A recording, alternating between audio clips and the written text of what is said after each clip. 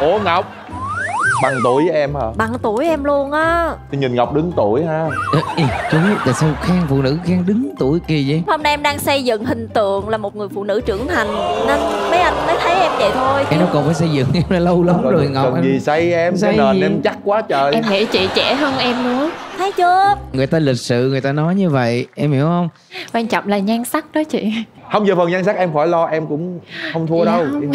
cho anh hỏi là thế em từ xưa giờ em đã trải qua bao nhiêu mối tình rồi? À, dạ ba người. Quê mấy người đó là bố mẹ có biết không? Hay là mình mình mình yêu? Ba mẹ em có biết. Đa phần chàng trai nào cũng rất là nghiêm túc và muốn xác định với em cho nên họ cũng muốn được gặp ba mẹ em. Có một cái điều mà nãy em nói trong clip anh đồng ý với em là thêm tích cực lắm. Sống yêu đời vui tươi à, hướng ngoại ha có cái gì cứ dám nói ra. Có một mối tình nào đối với em là buồn mà làm cho em rây rứt ừ, khôn nguôi không? Ừm, dạ là mối tình vừa qua của em. Lúc đó sao chia tay? Sau khi bạn ấy cầu hôn em trước mặt bạn bè thì ờ, một tuần sau đó thì tụi em cũng có một ít xích mích nhỏ. Bạn ấy chọn là chia tay nhưng mà trước đó cũng rất là nhiều lần sau khi tụi em cãi nhau cứ có chuyện gì bạn ấy cũng đòi là chia tay đi. Ôi trời. Cầu hôn chi rồi rồi chia tay kỳ đa số là trong cái, cái, nết kỳ cãi lộn á thì con gái mới là người đòi không chia không tay nha chứ. có những cái người đàn ông họ như vậy đó. Tức là họ rất là dễ bị tuột mút á dạ. Ngay trong cái thời điểm đấy họ không kiểm soát được. Cho nên là thường xuyên là mà họ đôi khi không phải tục bút mà đôi khi mình dùng từ là nông nổi á, bất cần. Có thể bạn ấy nghĩ là em sẽ luôn ở lại Đó. sau khi bạn ấy nói những cái lời như thế. Nhưng mà mỗi lần gương vỡ khó lành lại lắm. Đúng rồi. Dạ. Có quay lại thì nó cũng sẽ có vết nứt. Dạ. Ờ. em Ồ, cảm- vậy là đang yêu một người đàn ông rất là trẻ con nè còn em thì mạnh mẽ hơn rất là dạ nhiều. em thì ờ, không bao giờ em sẽ nói chia tay mà không có lý do hợp lý. Anh thích cái điều đó đó nha. Riêng trong các mối quan hệ tôi khuyên các bạn như thế này khi gây lộn á ngay cái lúc mình điên nhất á làm ơn kiểm soát cái lời nói để đừng có phát ra những cái loại câu nói mà không nhìn mặt nhau lại được nữa. Tại vì sau đó hối hận lắm không biết xin lỗi làm sao luôn á đặc biệt là từ người mà mình rất tin tưởng và yêu thương thì nó còn giống như sát muối vô vết thương. Chết rồi Đau chừng Sát muối. rồi. cái đoạn đó là dễ đi nướng muối ớt đồ lắm không nhưng trời ơi. mà thực ra cái người đàn ông mà họ đã ý thức được cái việc mà kiểm soát được cái nóng giận ấy thì họ đã chẳng bao giờ nói ra những cái lời đó. Nhưng mà thực sự em nên cảm thấy may mắn tại vì á, là em đã không lấy cái người đàn ông đó. Tại vì khi mình còn yêu mà động tí anh ta đã muốn chia tay thì em nghĩ đi bây giờ em cưới về động một tí đòi chia tài sản còn vất vả hơn rất nhiều lần nữa. Dạ thật ra thì ờ, bạn trai cũ của em cũng là một người rất là tốt. Dạ. cho nên ờ, em cũng hay vì những cái điều tốt đẹp và những cái kỷ niệm đẹp mà tụi em có với nhau á. Cái gì là cái cuối cùng để mình khách em cảm thấy không thể để cái tình trạng tiếp tục như thế được. Rằng em cứ dễ dàng tha thứ cho những cái lỗi lầm ờ, những cái lần chia tay đó. Em cũng muốn một lần em đồng ý ra đi mãi rồi. mãi để bạn ấy có thể là ờ, không phải là dành ra bài học ờ, để sau này đối xử tốt hơn với em nhưng mà có thể sẽ cho một người bạn gái tiếp theo. Trời ơi thấy thương quá. hay quá. Chị ba quạo rồi tới lúc chị ba cho em bài học. Là không đợi chờ được nữa. Bây giờ nhiều lần quá quạo chứ. Em dạ. bây giờ hỏi một cái điều này nữa thôi. Một mẫu hình người đàn ông như thế nào thì sẽ thu hút được em đây? Em nghĩ là người đàn ông ờ, thông minh và hài hước. Thông minh và hài hước chưa bao giờ là đủ em ạ. Dạ. Chúng ta còn cần một cái khuôn mặt khuôn mặt đẹp để giúp chúng ta vượt qua những cái ngày gian khó nữa em nhé. Là giang đang nói giang đó em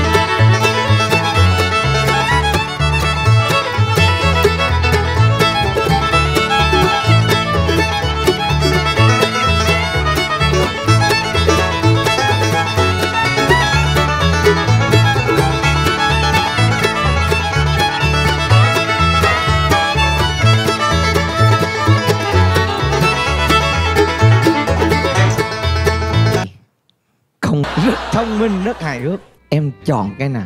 Ừm, Dạ em sẽ lựa chọn một người có hai tố chất. Vậy là em nói anh nữa rồi.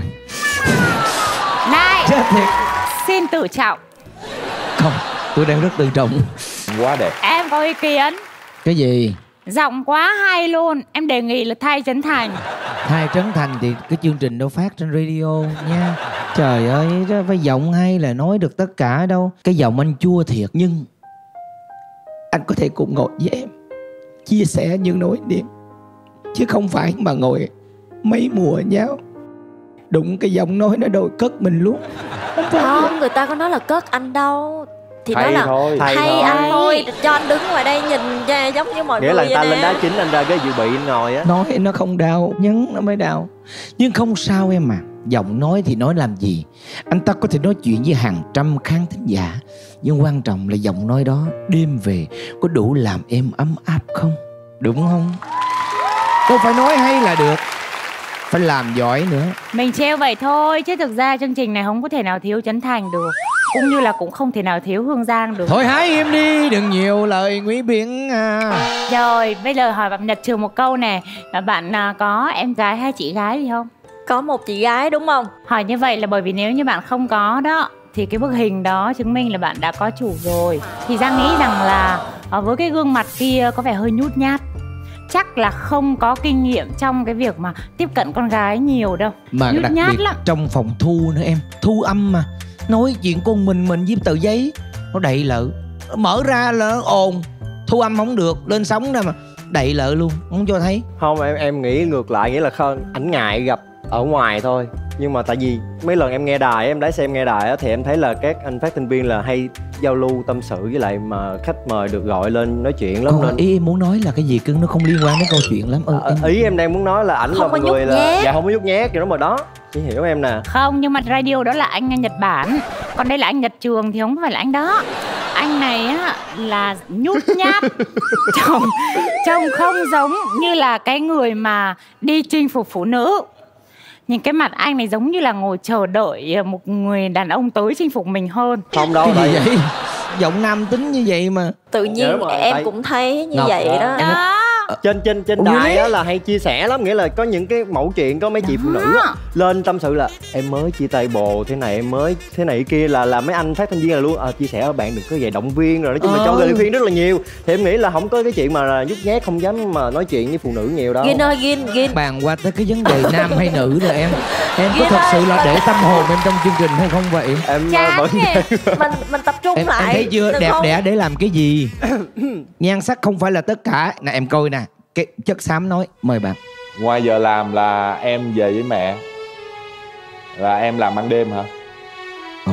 ồ vậy là tối về là em phiền mẹ em suốt luôn hay sao?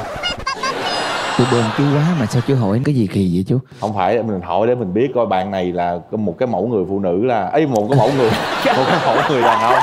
Một cái mẫu người đàn ông Rối mến loạn. mẹ mến mẹ. Ừ mến mẹ hay không? Mà nhá mình phải nói chuyện trên bằng chứng đúng. Cái lúc mà anh đánh đánh đàn á là anh ấy có hỏi mẹ anh một câu gì đó mà mẹ anh nói đúng rồi. Thì em đoán là anh ấy hỏi rằng là mẹ ơi anh ấy đẹp trai lắm đúng không mẹ? Với lại mọi người phải chú ý. Cái ngón tay đúng không? Không Đâu. một người đàn ông đơn thuần nào mà uống ly cà phê mà xoáy một vòng vậy. Ủa có xoáy nữa hả?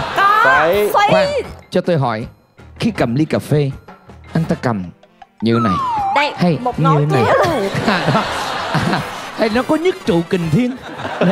À, mà đa số những cái người đàn ông mà luôn luôn hướng về gia đình nè mà gia đình chỉ toàn là mẹ với chị gái không á thì thường là thiên về. Tím tím một chút xíu đó. Giang tím luôn ha cưng